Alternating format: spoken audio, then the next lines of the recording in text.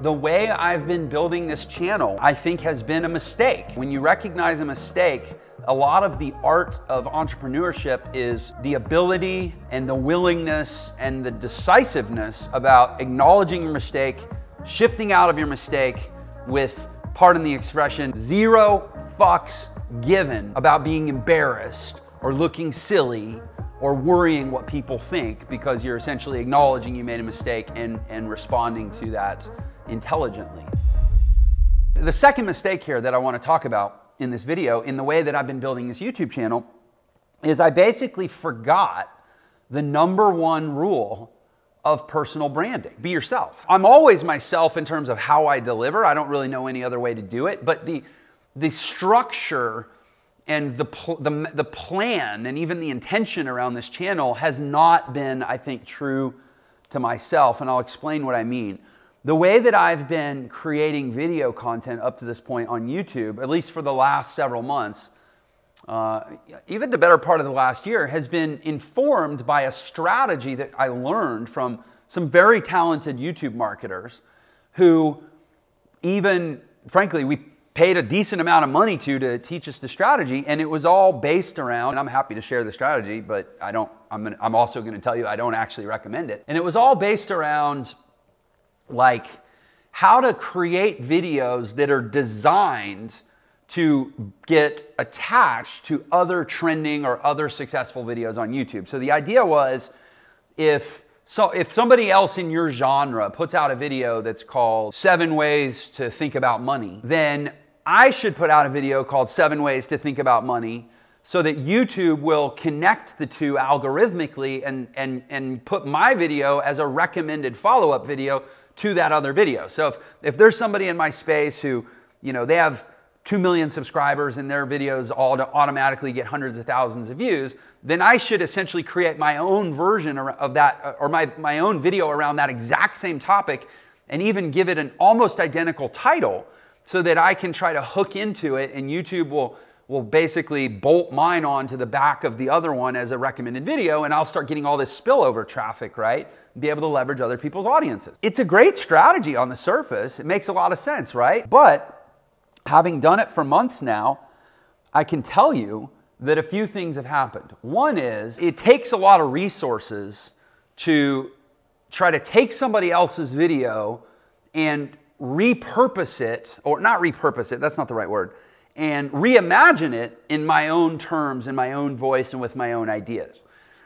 And, and yet, that's kind of what I'm having to do is like I'm taking somebody else's unique inspiration and somebody else's you know, content, and then I'm saying, well, look, obviously I'm not going to plagiarize it. I'm not even going to paraphrase it. I'm going to try to create my own relevant contribution to the same topic, but I have to align it so that it tries to line up with what they did so that YouTube will connect the two.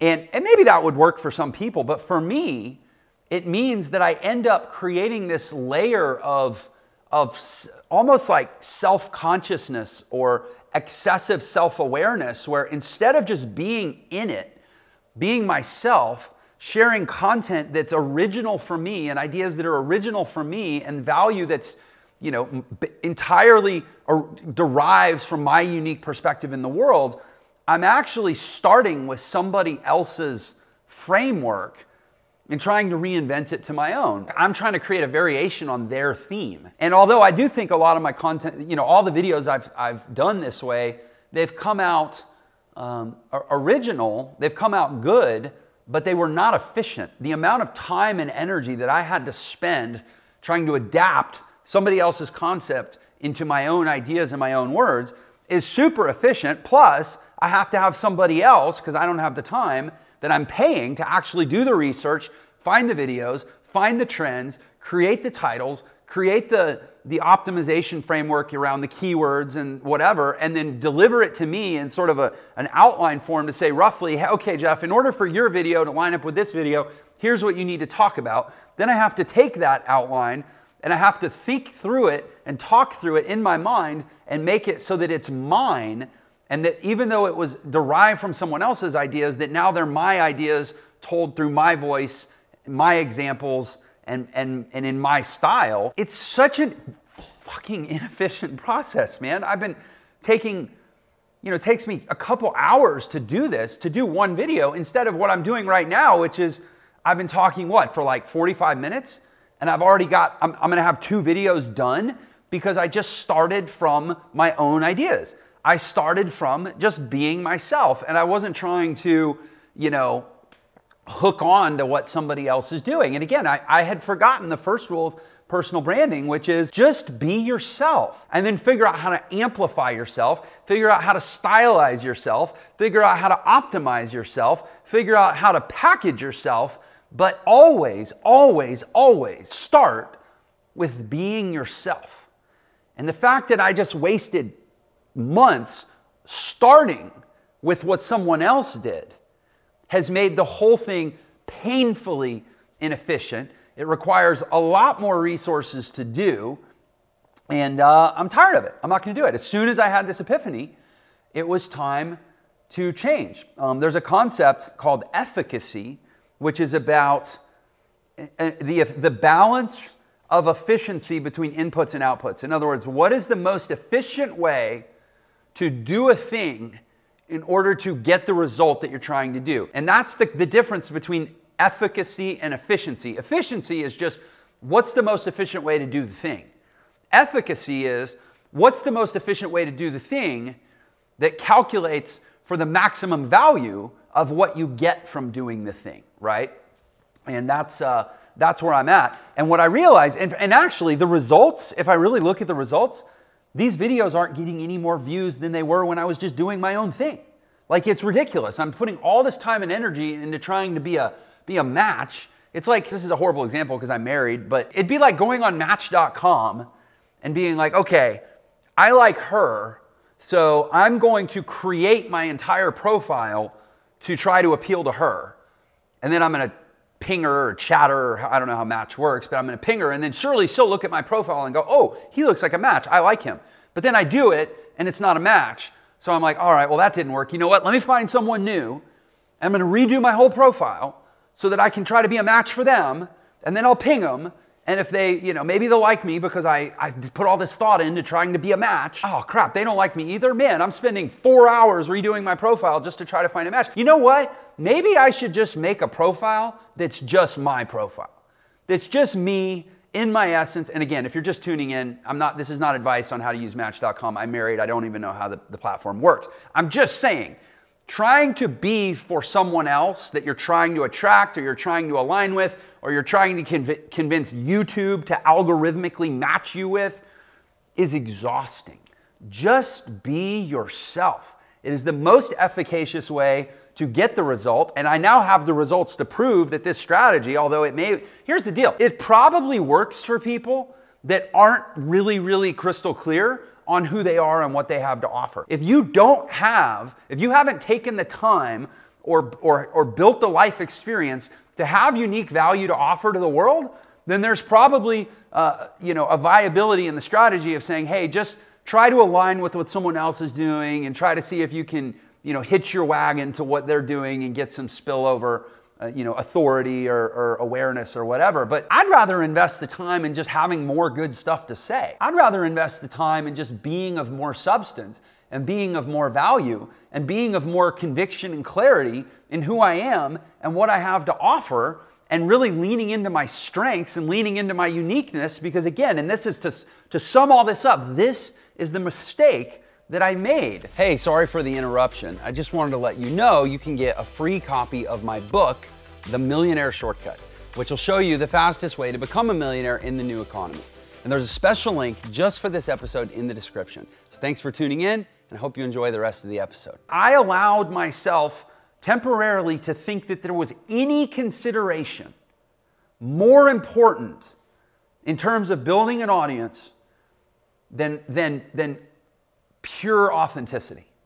I allowed myself to think for some, you know, for, for a moment that like, and, and I say for a moment, I mean, it was months and months that like, hey, if I can take who I am, but I can kind of meld it into this alignment with others, that I'll, you know, YouTube will reward me. Well, guess what? They haven't. The views on my videos have not been any better uh, than they were before. In fact, they've been worse because as I've seen this strategy go on and on and on, I'm actually not as passionate about video creation. And, I'm, and frankly, we've kind of, I can feel it in my focus. It's like I'm not as willing to invest. Before, I was investing more in promoting the videos. Now I'm not. And I can just feel this whole thing being kind of this slippery slope, this downward spiral that I think is a representation of how all things go when we shift our focus into trying to, let's call it, please others. And in this case, what I was trying to please was YouTube. I've been creating, and this, this may be anathema, this may be the worst advice ever for people trying to build a YouTube channel, but I've been creating content thinking YouTube first instead of creating content thinking me and my audience first. This is it. This is a new style right here. It's going live, talking about the real stuff that I'm really dealing with on a daily basis as I try to grow my business from where it is to where I want it to go. And that, you know, I think that's another that's another critical piece right there is I'm not in the place where the best value that I can provide, the highest and best utility of my time and, and energy and intelligence is not on teaching zero to one. Now, I've built a channel uh, where I really I want to inspire a lot of zero to one behavior. I'm absolutely passionate about inspiring zero to one behavior. But tactical zero to one behavior, hey, here's how to set up your LLC or here's how to create your first funnel or here's how to you know write your first Facebook ad, or here's how to select your first product to market, or there's other people that are experts on teaching zero to one tactics. I'm trying to grow a business to a billion dollars. I, I shouldn't be taking time out of my, my business, my actual work, to stop and try to roll back to 10 years ago when I was zero to one getting started and teach from that place because that's not authentically who I am. It's authentically who I was, but it's not where I'm at in my journey. And I've been thinking, well, oh, my brand needs says I need to reach I need to reach people that are nascent entrepreneurs. I'm help I'm trying to help inspire and birth an entrepreneurial revolution. But I don't think I'm doing that in the best way possible by pretending to be a tactical expert on what you do when you get started in a business because I have a big business and I've been doing this for a few years. I have a current going concern that's almost three years old, and I'm trying to like make it, you know, a, a full fledged unicorn. I need to be 100% grounded in that and speaking from that place because I will still be inspiring and I will still be supporting people and giving birth to their entrepreneurial dreams, not by teaching the tactics of what to do on day one, but by leading by example and showing what's possible. You know, Elon Musk and Richard Branson and people like that inspire way more entrepreneurs in this world than people that are teaching ground level tactics. And I'm not saying that one is better than the other, you need both. But for me, the best utility of my time is not pretending to be a kindergarten teacher. It's, it's owning where I'm at and speaking from that place and delivering value from that place because frankly there are a lot more people that can speak to what does it take to start a business on day one than there are people that can speak to what does it take to build a billion dollar company in less than five years and the fact that i'm in a unique position to be able to have that latter conversation means what the hell am i doing trying to build a youtube strategy around having the former conversation every time i go and get on youtube i'm what stepping into a time machine and going back to 10 years ago and trying to speak from that place it's so inefficient, it's such low efficacy. So it is time to stop overcomplicating, and it's time to stop overthinking. It is time to stop redoing my profile every single video just so that you know YouTube will think I'm a match. And it is time to just ground myself and live congruently all the time in the essence and the purity of who I am and where I'm at and what I have to offer. And if people like it, they'll like it. And if people don't, Maybe, maybe there's people that'll go, oh, this, this isn't the same channel that it was before. That's cool. But I have a feeling that coming from a, a center of, of, of authentic psychological gravity, that I am only myself and no one else for any other purpose, is going to have a lot more magnetism anyway, and the channel is going to grow a lot faster. So hopefully you find some value in that. Uh, just remember, you are the only unique asset you have, whether you're a di- starting a business or you're scaling a business, or hell, you're trying to sell your business, whatever stage you're at, you're always going to maximize your value, you're always gonna maximize your time, you're always gonna maximize the multiple that gets placed on whatever you're doing if you, if you just refuse to compromise coming from the place of yourself. I hope there's some value in that for you. What is it you're supposed to say at the end of every YouTube video? Like the video if you liked it. Comment on the video if you have a comment or question. Subscribe up to the channel if you like, you know the drill, right? Thank you so much for your time. I'll see you on the next one. Hey, if you liked this video, then you're gonna love this video. And in this video, we're gonna talk about how to believe in yourself when you don't believe in yourself. And I'm gonna cover five things you need to know about belief so that belief can be something that you start to get control of.